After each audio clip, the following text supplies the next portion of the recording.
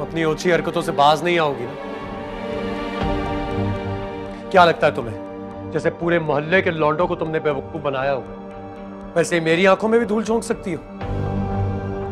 ऐसा कभी भी नहीं होगा मेरू। मैं अपने साथ ऐसा नहीं होने दूँगा। चाहिए यहाँ से प्लीज़ अच्छा वरना क्या कर लोगी तुम? आइए आइए सारे आइए। अरे यार आप लोग सब बाहर क्यों खड़े? अंदर आइए ना। आइए आइए देखिए आज आप लोगों के लिए तो हो रहा तुम कहाँ खड़ी हो? इधर आओ। यहाँ छोड़े मेरा हाथ। अभी छोड़ दूँगा तुम्हें। छोड़ने ही तो आया हूँ। ये है जी। ये है मेरू आप सब तो जानते होंगे। किसी ना किसी ताल्लुक वास्ते से आप लोगों को तो पता ही होगा इनके बारे में। क्या समझती हो तुम अपने आप को? मैं अपनी हद में था तो तुम अपनी औकात से बाहर हो गई।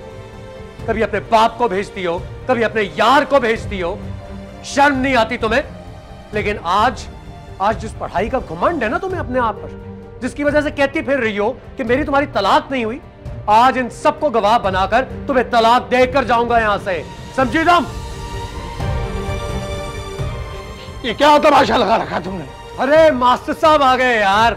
मास्टर साहब आ गए। देखिए तो सही। ये इज्जतदार बनने का जो ढोंग रचाते हैं ना आप सबके सामने लेकिन मैं इनकी असलियत जानता हूँ। इनकी असलियत ये है कि ये वो इंसान है जो अपनी बेटी की कमाई खाते हैं। हाँ आज सबको सच बता कर जाऊँगा मैं। छोड़ा मुझे। बेगैरती कर रहा हूँ मैं और तुम्हारी बेटी? वो क्या कर रही थी? इसकी असलियत ये है कि इस मासूम चेहरे के पीछे ये लोगों को ब्लैकमेल करता है।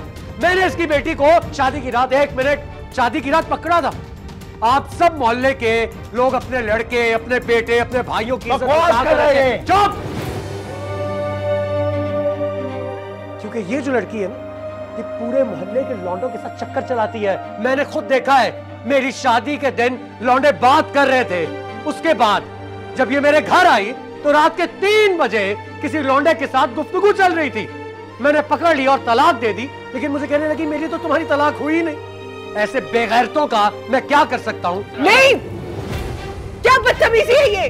अभी बदतमीजी करने लगा हूँ। चुप कर जाओ तुम सब। छोड़ा हलवा नहीं मरवाना है ना मुझे? मरवा दो। पूरे मोहल्ले से गवाही लूँगा। आज तुम्हें मेरू मेरू बिनते जहांजेब मैं सबके सामने इन सबको गवाह बनाकर मैं तलाक देता हूँ, तलाक देता हूँ, तलाक देता हूँ।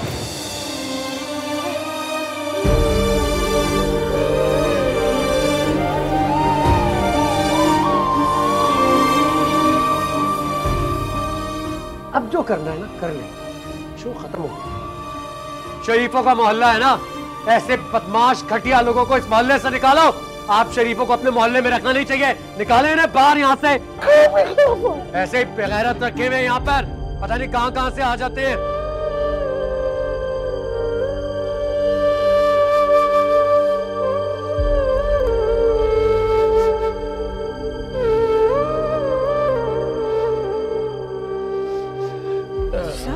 ठीक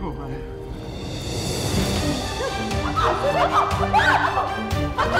Apa? Apa?